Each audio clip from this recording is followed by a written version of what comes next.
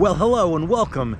It's 2020. Yeah, it's 2020. My name is Jared Bendis. I'm the Creative New Media Officer for the Kelvin Smith Library here at Case Western Reserve University.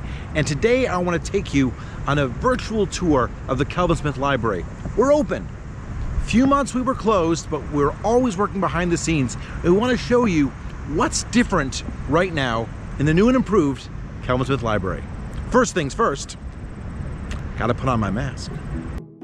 Well, I hope you can still hear me as I take you on a tour of the Kelvin Smith Library at Case Western Reserve University to see everything there is to see in this new normal. Now, this tour is a virtual reality 360 degree video.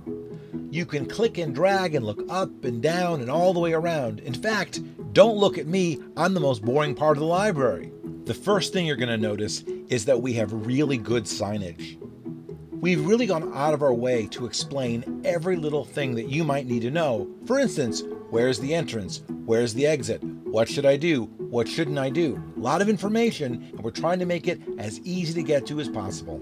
The first thing I need to do is get out my CWRU ID.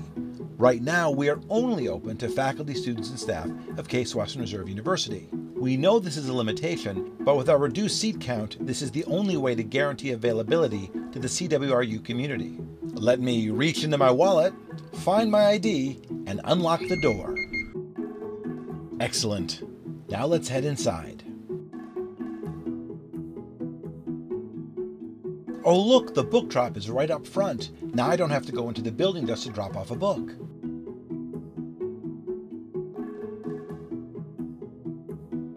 and I can come in, swipe my ID again, and see how many people are allowed in the building and how much room there currently is. Plenty of room for me right now.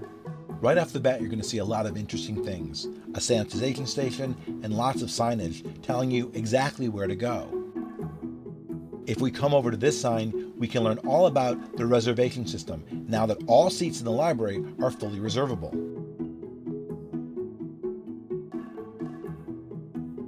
Oh, look, it's Cramelot Cafe.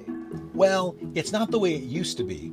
We are still open, but only with vending machines. Thank you very much. It's the only place in the library you're currently allowed to eat, which means it's the only place in the library you can take your mask off, but only for short periods of time. Cramelot's only available in 30 minute increments. It's just for quick breaks. So, this is the food safe area of the library. Everywhere else is food free, and if there's no food, it's easy to keep your mask on.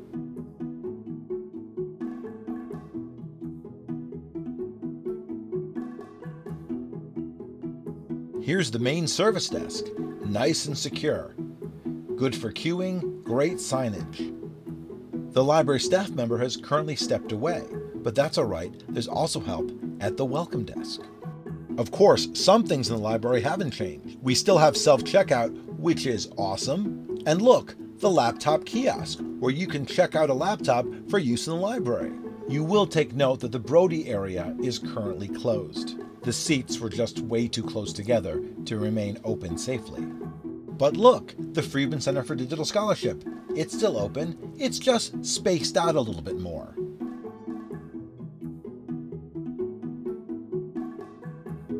We have our AV workstations. We have our GIS statistical workstations. Our TV viewing stations are currently being upgraded as we figure out better and safer ways of sanitizing them. Our video conferencing room is currently being used by the RSLs as virtual consultation spaces. The One Touch Studio is currently being redesigned and rebuilt to be even more exciting than it was before. Let's take a look inside the Collaboration Commons. Obviously, we can't have people working together in the Collaboration Commons, so instead, we've spaced everything out. Notice each seat has a QR code on it for reservation purposes, and for the most part, people are pretty good about keeping their distances. This is pretty awesome. And of course, we still have the Freedman Center collection of books. The VR Corner is down for now because it's pretty personal technology, but researchers are still using it behind the scenes. We've also spread out and brought together all the scanning stations. We have flatbed scanners, sheet fed scanners, And look, we even have three KIC scanners. So many scanners, each one with their own specialty. Because of the pandemic, we've had to put a pause on AV digitization and film digitization as there's no really good way of sanitizing the equipment. We still lend technology at the Best Buy display table. One thing you will notice is we no longer lend headphones or webcams. Headphones just can't be cleaned, and webcams, well, everybody needs their own webcam these days. And don't forget OhioLink, we're still lending books, we're still borrowing books from all over the state. And as we walk around the building, notice how every other seat has been removed. The remaining seats, however, are fully reservable. One of the more exciting changes is the music library has moved in, not just the books, but also the CDs.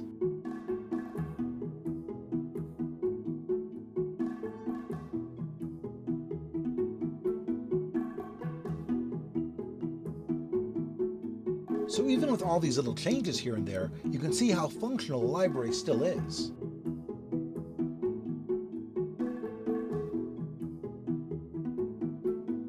Sanitation stations throughout, well-spaced seating throughout, and clear signage everywhere you can see.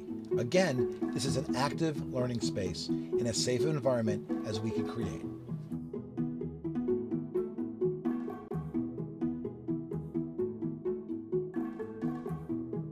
Let's head upstairs. It's always a good time to look around.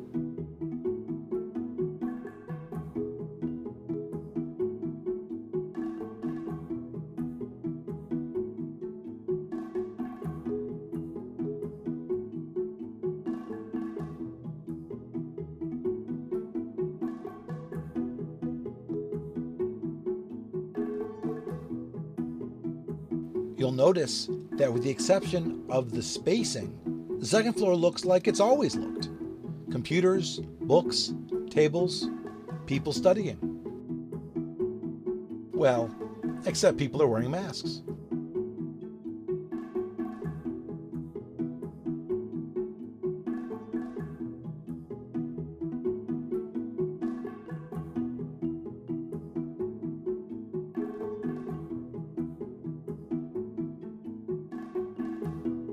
Library is always running multiple exhibitions. People don't realize how much work goes on behind the scenes to make all this happen.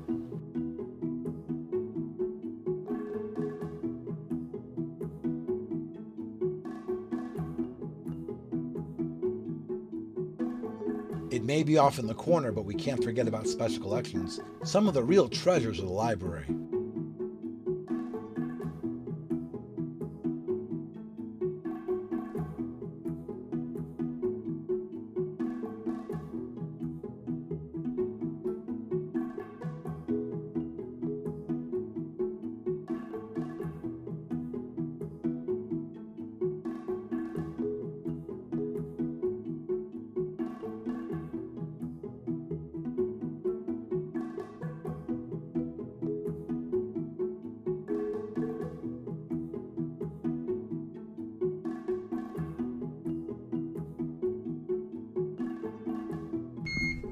One of the more bizarre bits of trivia in the library is that in the Flora Stone Mather reading room, there's a fireplace. No fires, though.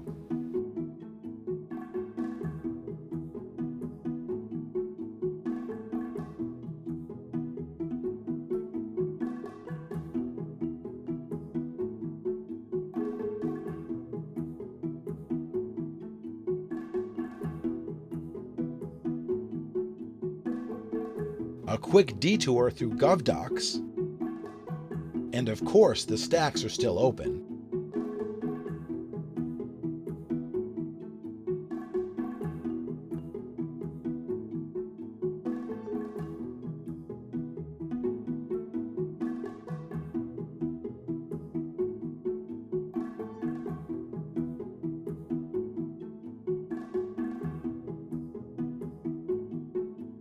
A lot of people work in this building, and a lot of them work right behind these doors. Let's take a look.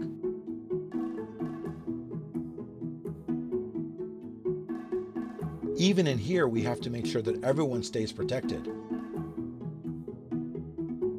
The doors are closed, the screens are raised, people have been spread out as far as they can be, others still work from home. People forget it's not just the books, it's not just the people working up front, and it's not just the students. The library is all encompassing. This is my office.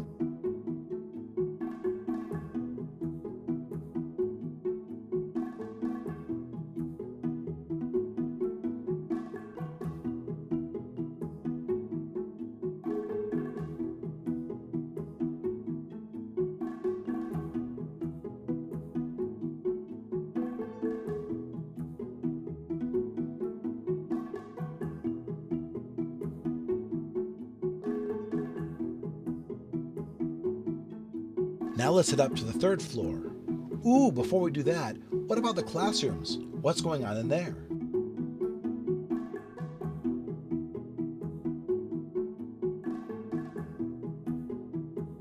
More individual study spaces. And as you can see, the sign clearly says no food or drink. Everyone's adapting to the new rules the best they can.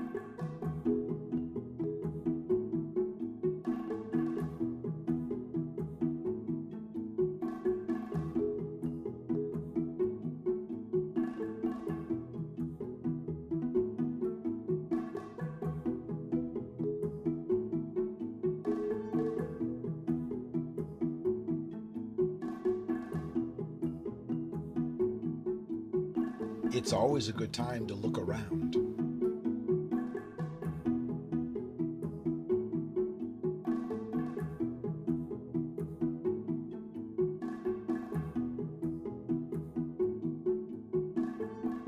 They say the higher you go in the library, the quieter everything gets. And in this quiet study area, you wouldn't want to even drop a pencil without getting a dirty look.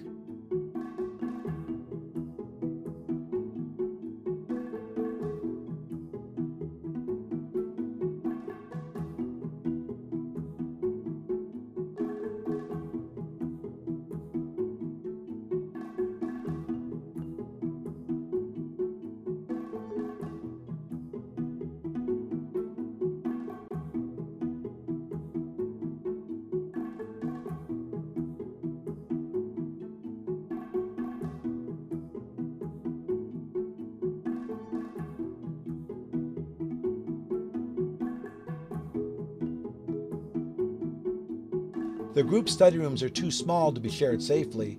However, some library staff members who only have cubicles are using them as temporary offices.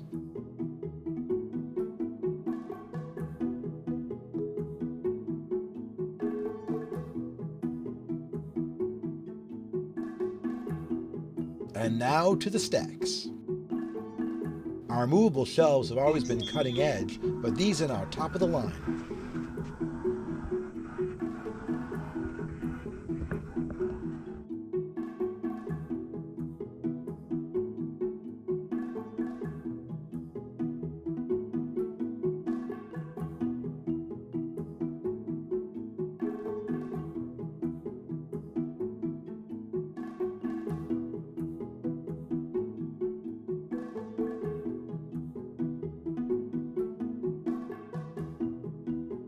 Now this is very exciting. The water fountains have all been closed, but we still have the water refill stations where you can get clean water for your own bottle. We're also limiting only two people in the restroom at a time. They're pretty small anyway, it's not that big a deal.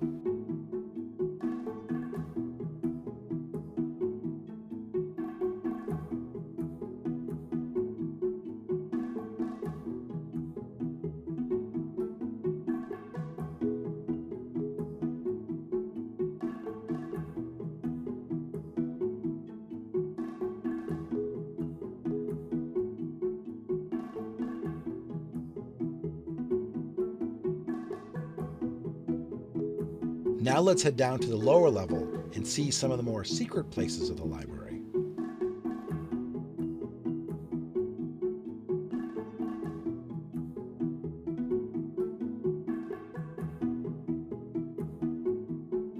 The lower level has the University Technology Care Center.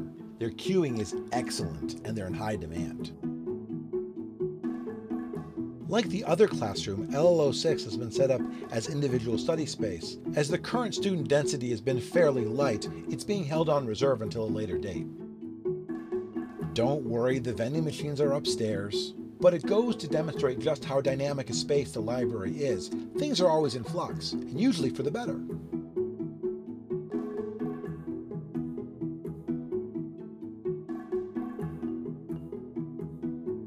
Now to some of the more secret spaces.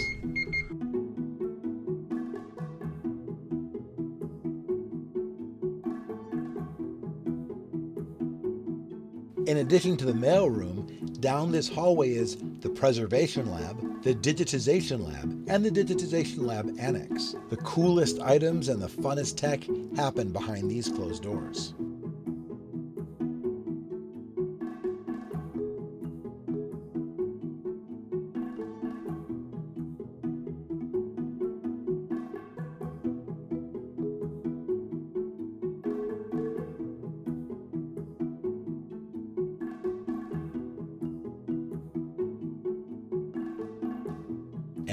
To the closed stacks.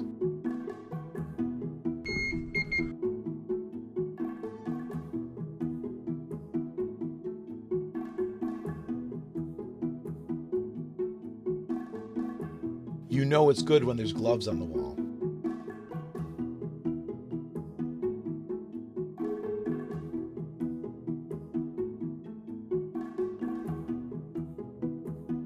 I get a real kick out of going through the Deweys. The books are so old and the topics are so bizarre. I mean, they're topics, but a lot of fun down here.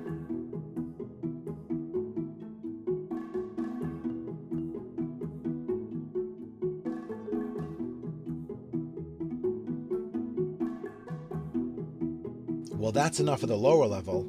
Let's head back up.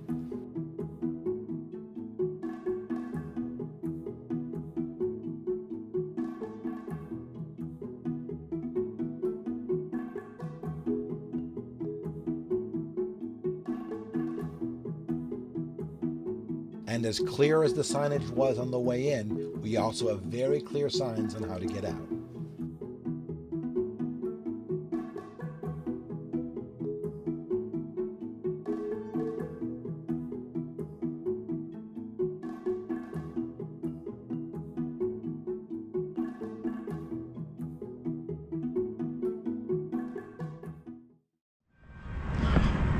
Well, there you have it.